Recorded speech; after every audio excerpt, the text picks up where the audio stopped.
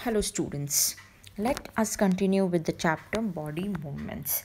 We are going to the last part of the chapter that is the fish and the snake. So, today we are going to discuss about the two animals that is the fish and the snake. First, let us see what is the fish. Fish are those organisms which live in water. When we speak about fish, they are not only they are very important. It is a very important to learn about the movement of fish. That is because the fishes are not in the same size or same shape. It has various different shape and size. This kind of movement is called as streamlined movements. What is it called? Streamlined movement or streamlined body under this streamline, let us learn what is the streamlined body. A body is said to be streamlined if its shapes offer the least possible resistance to the moving water. So, if you want anything to move in water, then the object should give minimum resistance with that particular object. The object should not oppose the movement of water. It should just allow the water to move with the water itself. So it should be the concept of going with the water itself.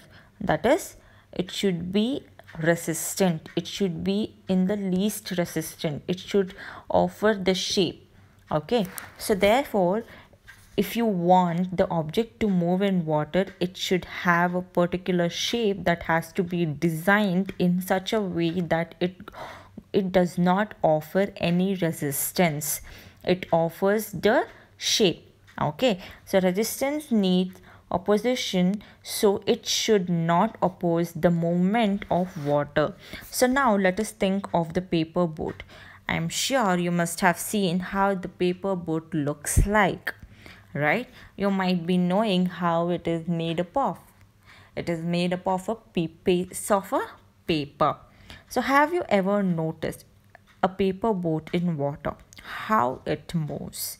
It starts moving with the wood moving right right? So how does it move? Let it moves normally in the fashion. So we see that it moves normally right? It moves normally in a wavy structure right? Like this. So the boat in this direction it moves in such a way that paper at the two ends the two ends of the paper shows the direction of the water. It shows the direction of the water so when in fact when you make a boat in this shape you see the boat is we make it in this shape. Why we make it in big the shape?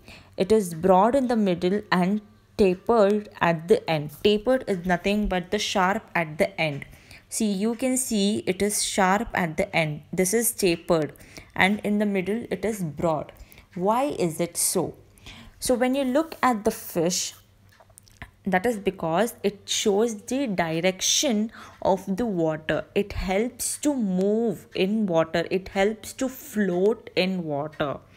Okay? So similarly when you look just a second students. Yeah. When you look at the fish it is same as the boat. It has been tapered at this end and this end. That is why it helps to move. That is why it helps to move. And it is broad in middle right? You can see i'll change the color. It is broad in middle and it is tapered at the end so that it helps to move clearly or it helps to move smoothly. Okay students? Yes. So now let us see the movement of the fish. It has strong muscles on the skeleton. It helps in swimming. It has strong muscles on the skeleton which helps in swimming if they don't have any strong muscle then how can they swim so the fish has the strong muscle which helps in swimming so it plays an important role. The muscle at the front part of the body is moving to one side that is its tail. This is its tail and this is the wing. That is the wing. So, muscles make the front part of the body moving one side of its tail move towards the opposite, opposite side of the fish's move. That is the tail to one side and the fishes to move in another side. It, is, it gives the opposite side like a wavy structure. So when you look at the fish, it moves like this. Why? Because its tail is here and its body is here. So it is a wavy kind of structure. Okay yes. So let us see what structure they have to move. Let us see students.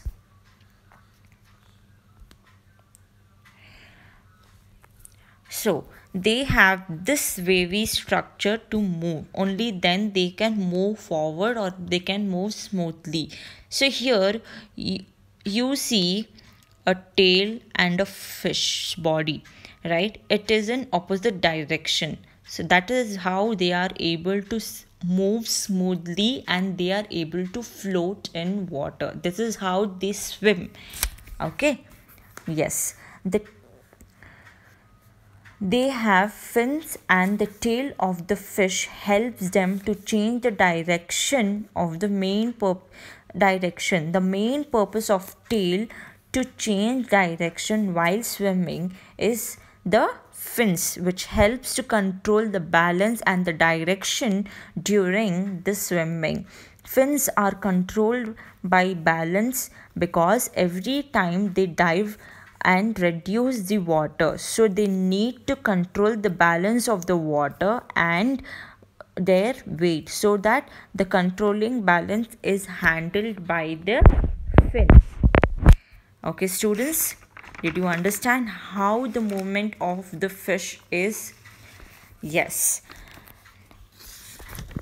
When you see the fish moving, you see that it keeps moving in a wavy fashion. So when the muscles make the front part of the body move to one direction and the tail uh, that is the tail direction again in the another direction. So here when you see the fish when you see the fish clearly going forward you see that the tail is here and the body is here. This is in the opposite direction.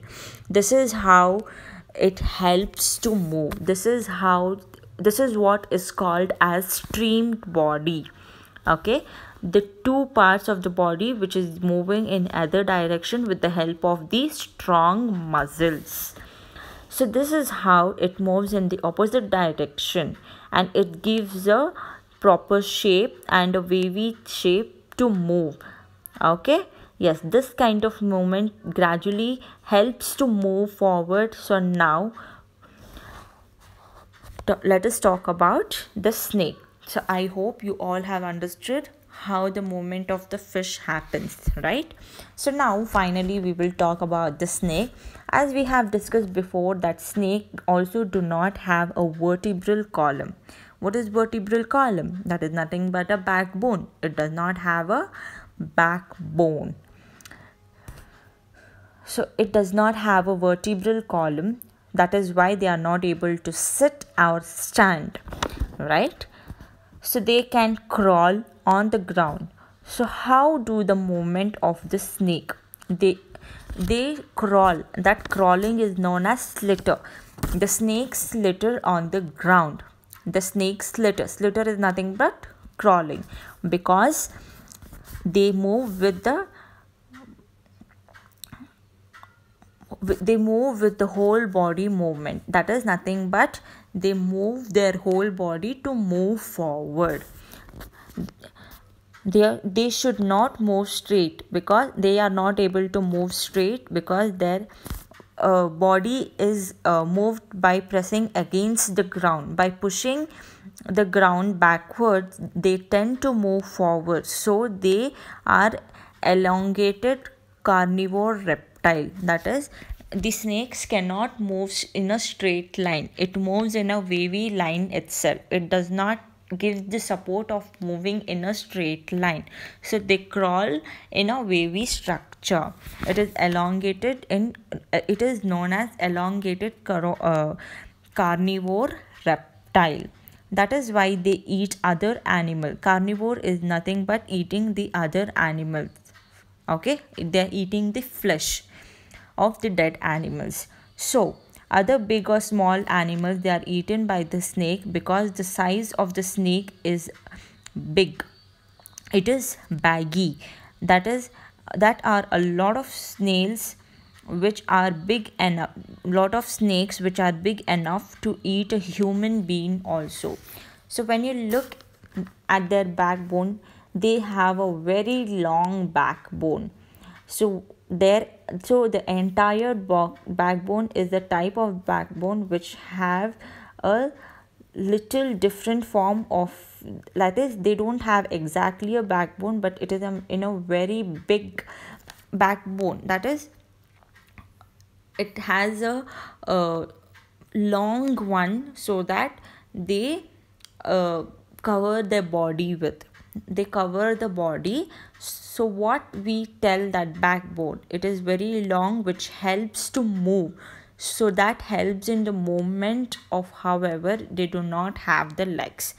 It helps in only movement of that is moving here uh, moving from one place to another they crawl they slither so they don't they have a long backbone. Okay but they do not have any legs. It is just like the earthworm. How the earthworm moves. It moves with a bristle right? With the help of bristle. That is they uh, put their pressure on the bristle and they move forward. Just like that even the snakes move like that. So such that they cannot walk or run but the muscles helps in movement or let's see how exactly it moves. They have a thin uh, muscle scale which helps in the movement and the muscles are present throughout the body and they move very fast and they and they move in the straight line. They they ne- never move in the straight line. Sorry they never move in the straight line. They move in a wavy structure. And uh, why they move in wavy structure? Because it is uh, it does not have a vertebral column that they can move in a straight line because they cannot sit or stand.